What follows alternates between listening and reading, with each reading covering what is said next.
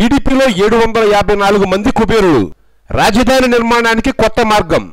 ప్రజలంతా అప్పు ఇస్తే ఆ సొమ్ముతో రాజధాని కడతారని ముఖ్యమంత్రి చంద్రబాబు నాయుడు చెప్పడాన్ని ఆంధ్రప్రదేశ్ ఎడిటర్స్ అసోసియేషన్ తప్పుపట్టింది. రాజధానికి ప్రజల నుంచి అప్పులు తీసుకోవడం సరికాదని ఆ అసోసియేషన్ అధ్యక్షుడు వివిఆర్ కృష్ణంరాజు వ్యాఖ్యానించారు. అదే సమయంలో ఆయన చంద్రబాబుకు ఒక కొత్త సలహా ఇచ్చారు.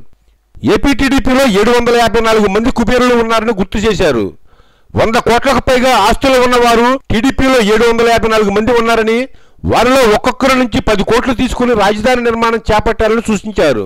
ప్రజలను అప్పులు ఇవ్వాలని కోరడం కన్నా సొంత పార్టీ కుబేరుల నుంచి నిధులు సేకరిస్తే టీడీపీ ప్రజలకు ఆదర్శంగా నిలిచినట్లు అవుతుందని ఎడిటర్స్ అసోసియేషన్ అభిప్రాయపడింది. Editors association better Andhra Pradesh association నిర్వహించిన సర్వేలో రాష్ట్రంలోని అభివృద్ధి మొత్తం ఒకే చోట కేంద్రీకృతమవుతోందని ఎక్కువ మంది అభిప్రాయపడుతున్నట్లుగా తేలిందని కృష్ణంరాజు ఈ సందర్భంగా వివరించారు. ప్రభుత్వం చెబుతున్న లెక్కలకు వాస్తవ పరిస్థితికి సంబంధం లేదని ఆయన అభిప్రాయపడ్డారు.